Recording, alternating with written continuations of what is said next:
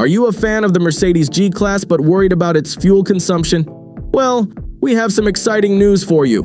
But before we dive in, make sure to hit that subscribe button, give this video a like, and share it with your friends. Let's get started.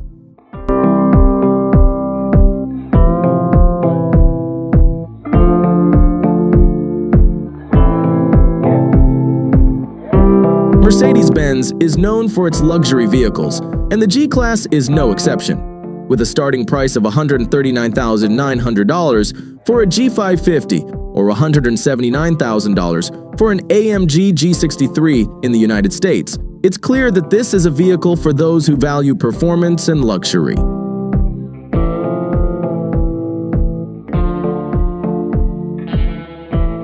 But what about fuel efficiency?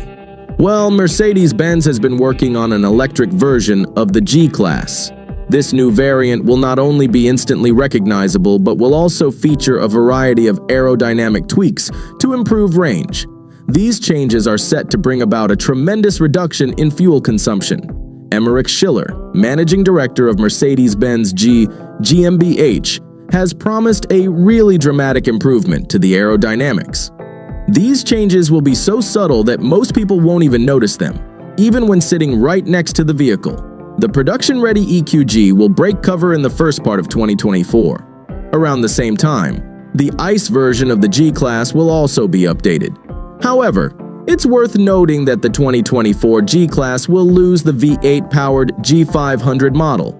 The future of the US spec G550 is still unclear. So there you have it. The future of the Mercedes G-Class looks bright with these upcoming changes. Make sure to stay tuned for more updates on this story.